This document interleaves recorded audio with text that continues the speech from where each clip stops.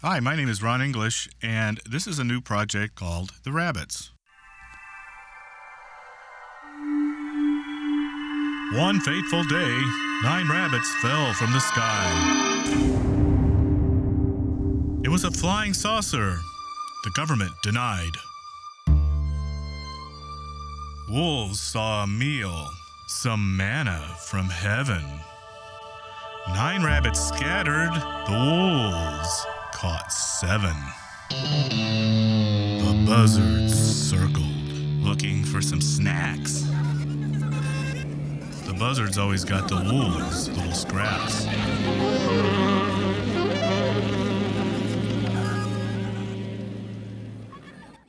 Three three eyed rabbits jumped down a hole created by their laser beam when their ship lost control.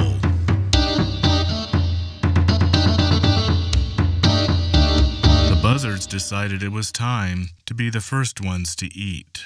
So they flew down the rabbit hole after fresh rabbit meat. They found their meal in a paradise below. It was Ronnie, Bunny, and their son, Potato.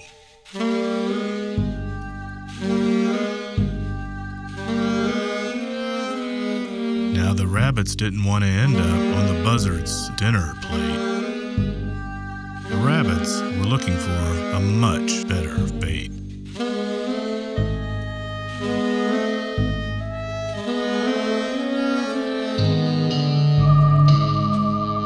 To the buzzards, the rabbits made a pretty good case. Delusionville was such a beautiful place. If they let the rabbits live and not make them a meal, the rabbits would make those buzzards a really good deal. On the surface world, buzzards were buffoons, but in this underworld, they could be royal tycoons.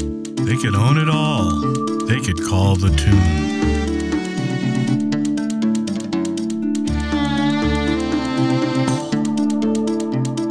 The rabbits would serve and make buzzard dreams come true.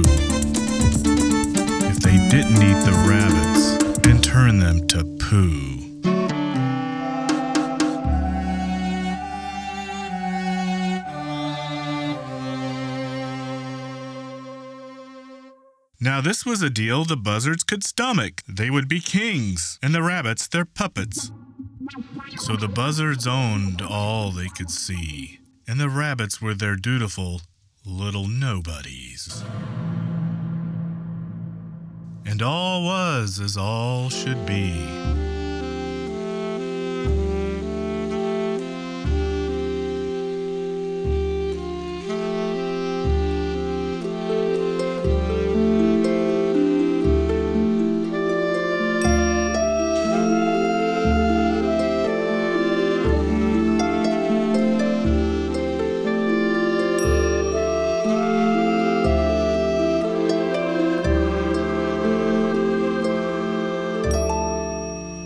Until a pig fell into this alternate reality. Now, this pig would have made a mighty fine meal, so this big old pig made a desperate appeal. Now, the piggies might make some mighty fine barbecue, but a pig could also be a thing of much greater value.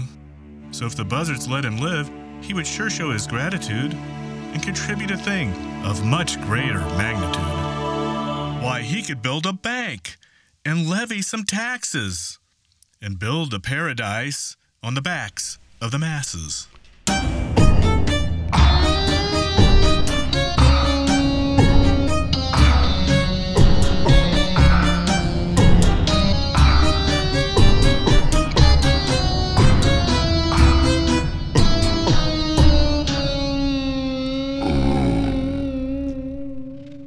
Now the buzzards thought this was a pretty good deal, and the pig was so pleased he let out a squeal.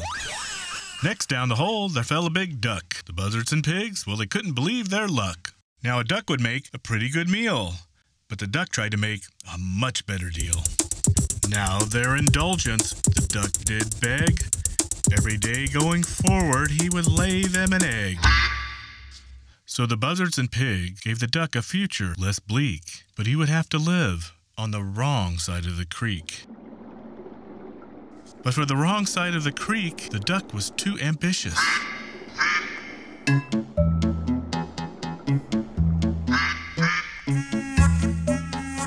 Why his eggs were something better than golden. Your dimmest ideas? These eggs would embolden. Not only did his eggs make you feel pretty full, his eggs would make you believe your own bull. The pigs thought these eggs might be no joke. Why, there might be some magic inside of those yolks. Yes, the left bank was a little run down. The duck he could live on the right side of town.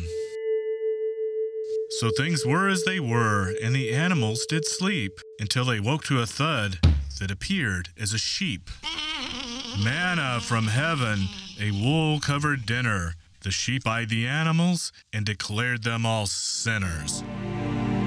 They would eat this angel descended from the hole for a full belly? They would risk their mortal soul? So the animals pondered and made their decision.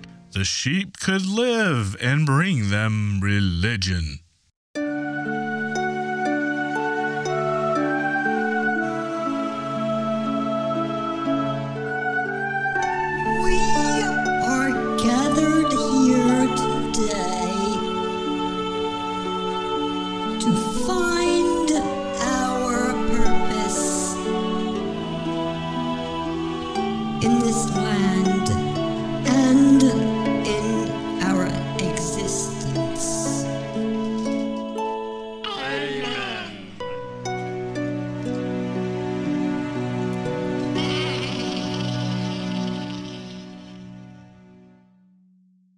So all was sweet and all was swell until that fateful day down fell a shell.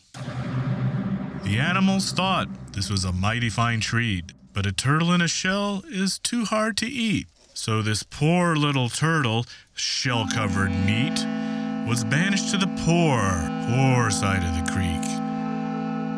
Yes, Delusionville was ruled by buzzards and swine until through the hole fell the mighty canine.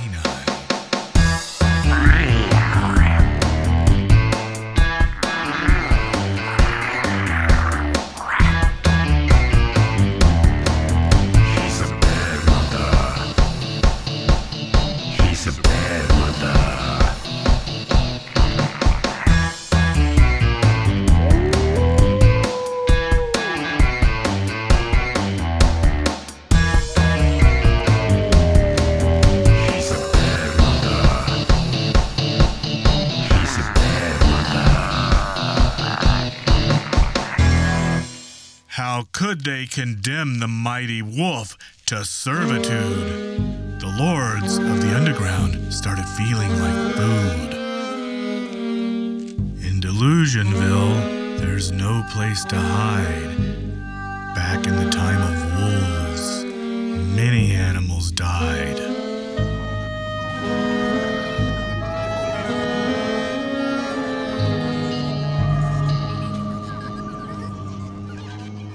Who parts the waters turns the tide, and it seemed that fate and folly had been on their side. You see, the mighty wolf had banged his noggin, and his wolfish nature had been forgotten. So the pigs told the wolf he was never so awesome, and he should carry on with a great deal of caution. Yes, the mighty wolf always behave. Yes, the mighty wolf will always be our slave.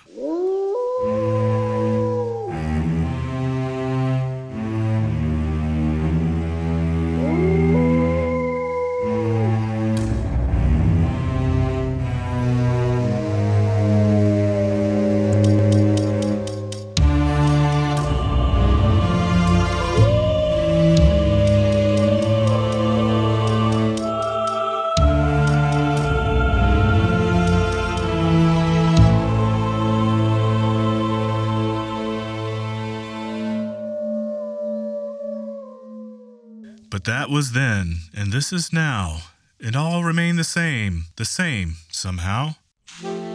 Every animal had their sacred cow, and revolution was not allowed. Yes, every animal knew their place, and to question anything was a social disgrace. In Delusionville, buzzards held the highest positions.